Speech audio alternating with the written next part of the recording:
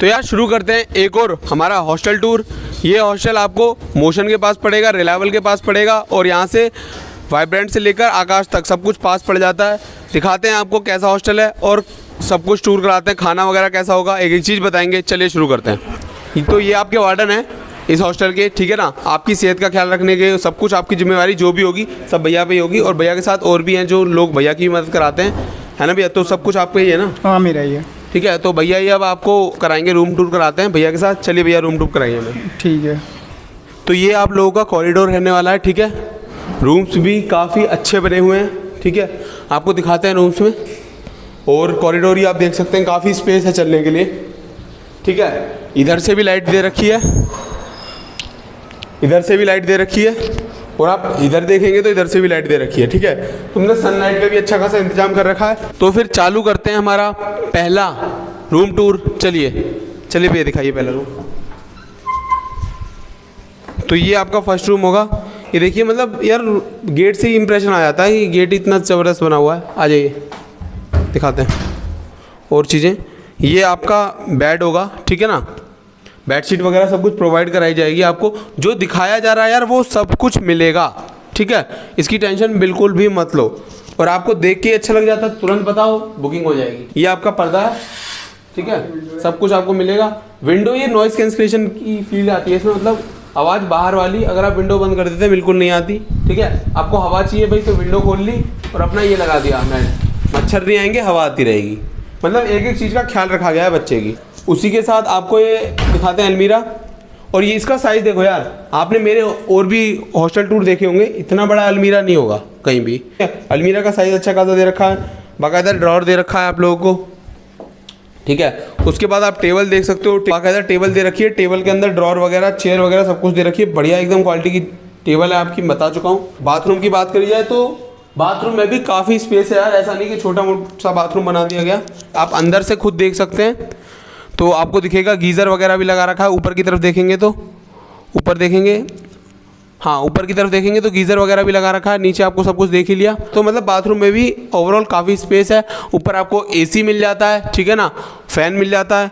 अब कई बच्चों को डाउट होगा कि भैया, हम लोग को अगर बाई चांस एसी सूट ना करे तो हम लोग क्या करें? तो आप लोगों को ऐसा रूम दे दिया जाएगा जिसमें कूलर होगा, ठीक है ना? तो हर तरीके से आपकी सुविधा दी जाती है। चलिए आपको ऐसा रूम दिखाते हैं, जहाँ से डायरेक्ट विंडो तो नहीं है, लेकिन लाइट वहाँ पे भी अच्छी है। चलिए तो आपको दिखाते हैं यहाँ का दूसरा रूम ठीक है? आ जाइए।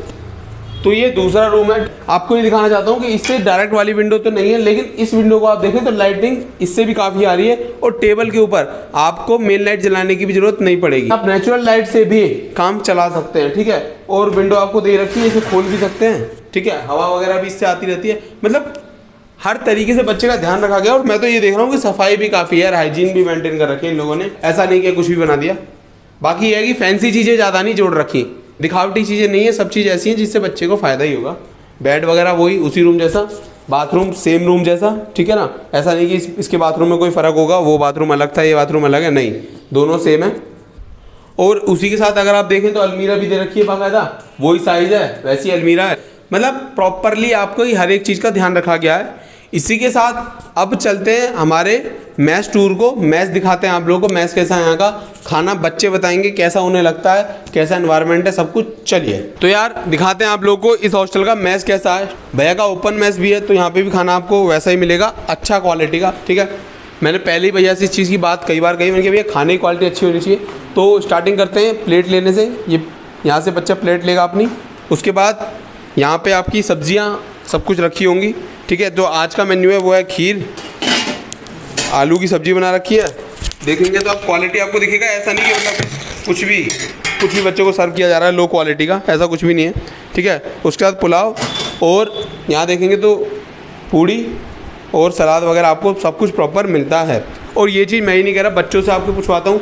जो बच्चे यहाँ पे बैठे हैं, ठीक है? वो थोड़ा सा अभी कॉन्शियस हो गए हैं, थोड़ा कैमरा को देख कर लेकिन हम लोग पूछ लेते हैं एक एक चीज़, है ना? उन्हें कैसा लगता है खाना? और जो भी मेरे क्वेश्चन है पूछते हैं एक एक बच्चे से। तो भाई सबसे पहले आपसे मेरा एक ही क्वेश्चन है कि खाना आपको यहाँ का कैसा लगता है? अच्छा। मतलब कोटा के ऊपर ना एक बच्चे से सोच के आते हैं यार खाना खाने लायक नहीं होता ये होता है वो होता है। तो अपने इस मैच का खाना कैसा है? बहुत अच्छा। खाना अच्छा है? अच्छा। ठीक है। और भाई मेरा एक डाउट था कि ऐसा तो नहीं है कि आज हम लोग आए तो आज मतलब कि खाना अलग दे दिया जी और रोज़ दिन आपको बेकार खाना दिया जा रहा है आज की खाने की क्वालिटी सुधार गई ऐसा कुछ तो नहीं है? नहीं ऐसा कुछ नहीं है। खाना जो है एकदम बहुत ही प्रॉपर है और डेली बढ़िया खाना मिलता है हम लोगों को। और यहाँ पे सब कुछ है डेली का रूटीन होता है अलग अलग कि खाने में आज वैरायटी क्या है सब एकदम एकदम प्रॉपर खाना है यहाँ बहुत अच्छा खाना है।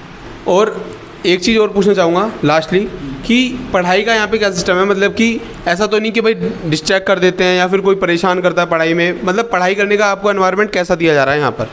नहीं नहीं ऐसा कुछ नहीं है। यहाँ पे काफ़ी शांतिपूर्ण माहौल रहता है। यहाँ पे ना अच्छे से बच्चे पढ़ सकते हैं। किसी को कोई डिस्ट्रैक्ट नहीं हुआ जाता है। अगर भैया भी कहते हैं मतलब अगर कोई आए तो बता दो यहाँ पे डिस्ट्रैक्ट नहीं हो पाए उसको बाहर भेज दें। अगर कोई डिस्ट्रैक्टिंग एलिमेंट है तो। यहाँ पे ठीक है भाई थैंक यू सो मच आपका टाइम देने के लिए आप लोग अपना खाना वाना खाएँ है ना? तो आप लोगों को मैच से पहले थोड़ा सा मैं सिक्योरिटी का दिखा दूँ कि आपके सिक्योरिटी के लिए कैसे हैं, ठीक है? तो ये भैया बैठे होते हैं आपके। सीसीटीवी वगैरह पूरे हॉस्टल में लगे हैं और भैया बैठ के आराम से निगरानी रख रहे होते हैं कि भाई बच्चों को कोई दिक्कत ना हो, कुछ मिस ना हो जाए। सबका आपका ध्यान रखा जाता है, बाकायदा बच्चों की पूरी सिक्योरिटी का ख्याल रखा जाता है। And last but not the least आप लोगों को मिलाते हैं इस हॉस्टल के ओनर से, भैया से हमारे। तो भैया, सबसे पहला सवाल मेरा यही होगा आप लोगों से कि जो हमने रूम्स दिखाए हैं रूम ऐसे ही होंगे ना बच्चे को जो मिलेंगे? जी भैया, यही तरीके, इसी तरीके के सारे रूम हैं और इनसे बेस्ट भी रूम है हमारे पास में और इनसे थोड़ी से लोअर क्वालिटी के भी हैं, जो हम थोड़ा रेट में सस्ता दे देते हैं बच्चों को। और क्वालिटी वाइज हमारे यहाँ कोई कंप्रोमाइज़ नहीं है। क्वालिटी आपको अच्छी मिलेगी बच्चों को। और हमारे यहाँ फैसिलिटीज़ में आपको वाईफाई मिलेगा बच्चों को सिक्योरिटी कैमरे हर बिल्डिंग में मिलेंगे आपको ऑन रूफ मैस मिलेगी। मैस की क्वालिटी आपको एकदम ए वन मिलेगी, खाने की क्वालिटी आपको एकदम ए वन मिलेगी।